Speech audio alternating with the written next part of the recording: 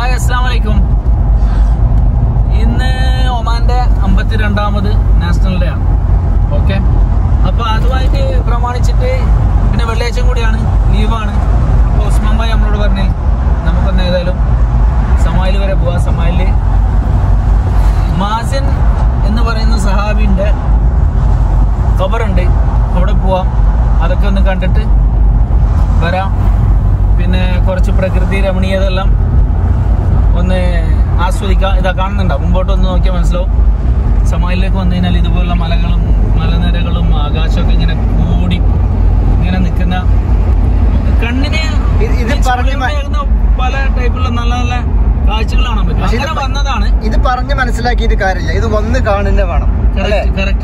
Arabian രാജ്യമായ Oman സുൽത്തനേറ്റിന്റെ തലസ്ഥാനമായ മസ്കത്തിൽ നിന്നും എഴുപത്തിയേഴ് കിലോമീറ്റർ അകലെ ഏകദേശം ഒരു മണിക്കൂർ യാത്ര ചെയ്താൽ ഷമായിൽ എന്നു പേരുള്ള മരുഭൂ നാട്ടിലെ ഒരു കൊച്ചു ഗ്രാമത്തിലെത്താം.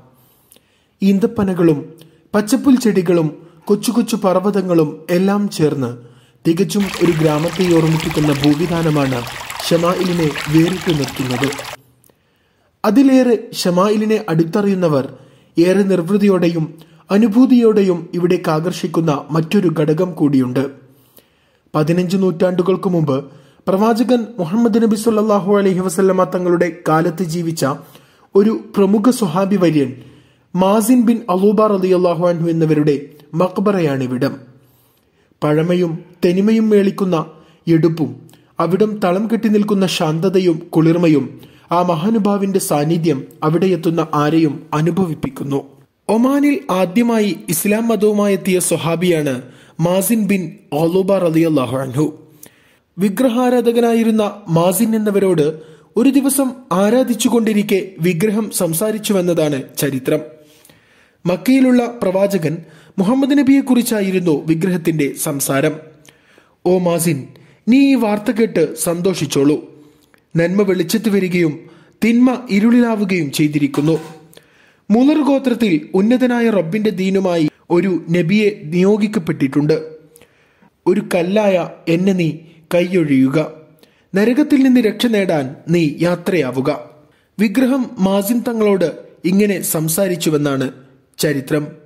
വീണ്ടും ഒരു ദിവസം ആരാധിക്കാനായി ചെല്ലവേ കല്ല് പറഞ്ഞു വരൂ മാസിനെ നീ അറിയാത്തത് കേട്ടുകൊള്ളുക. നിയോഗിക്കപ്പെട്ട പ്രവാചകൻ സത്യത്തിന്റെ ആദർശവുമായി വന്നിരിക്കുന്നു. നീ വിശ്വസിക്കുക. കല്ലുകൾ കത്തിക്കുന്ന നരകത്തിയിൽ നിന്നും നീ രക്ഷപ്പെടാൻ ആ നബിയിലേക്ക് പോവുക.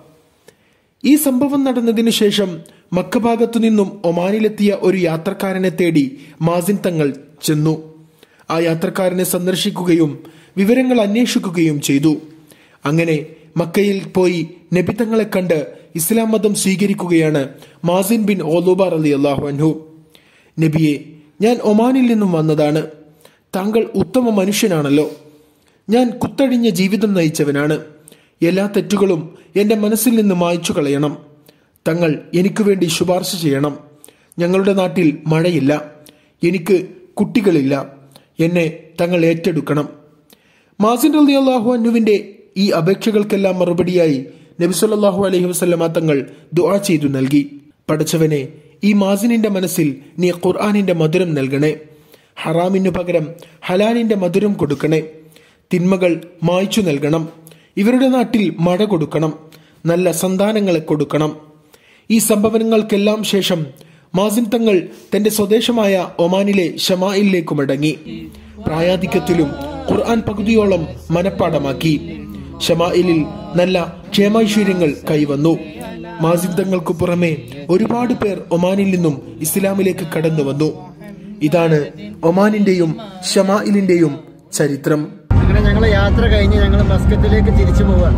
തീർച്ചയായും ഒരു പത്തോ പതിനഞ്ചോ മിനിറ്റ് കൊണ്ട് ഇൻഷാല്ല നമ്മൾ മസ്കറ്റിലെത്തുമായിരിക്കും.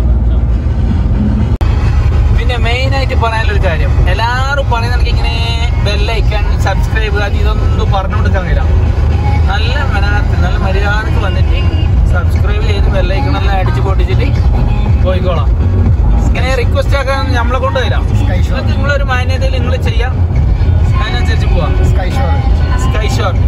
ചാനൽ തന്നെ. ഇത് പറഞ്ഞു കൊടുക്കുന്ന ചാനലല്ലേ അതന്നെ